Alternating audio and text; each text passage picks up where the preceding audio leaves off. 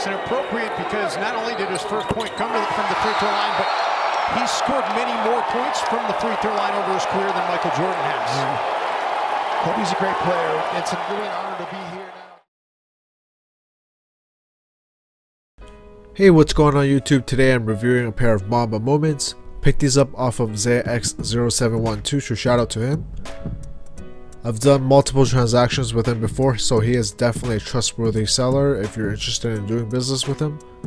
If you ever see this in person, they actually look really really good. I love the contrast between the gold accents, the green and the purple looks really good. Uh, even the glossy finish on the midsole with the speckling of the green looks really good. One thing I didn't like about the original pair that Kobe wore was the purple camo bottoms. Those look really odd to me. But uh, this pair right here is actually a glow in the dark sole, so it's a really nice touch. It just blends well with the shoe overall. I really, really love the gold stitching on the back. It's really nice uh, contrast with the rest of the shoe as well. On the back of the tongues, there is no Nike ID, which is kind of good and kind of bad. Um, I kind of wanted the original ID that Nike put on there with his scoring total and the question marks.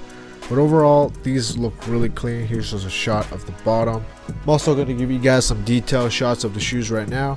When Nike first unveiled that they were going to release a special Kobe shoe, uh, I actually thought they were going to just give a limited supply just worldwide, but they ended up doing a quick strike on Nike ID. Uh, it's good and bad. I mean, it's a limited supply and uh, not everybody is accessible to it. It's basically whoever Nike ID ships to which unfortunately does not include Canada. But uh, these guys still ended up being in my possession, and I'm really thankful for that. Well, this video is pretty much coming to a close. I hope you guys enjoyed it, and uh, I'll catch you guys in the next video. Peace.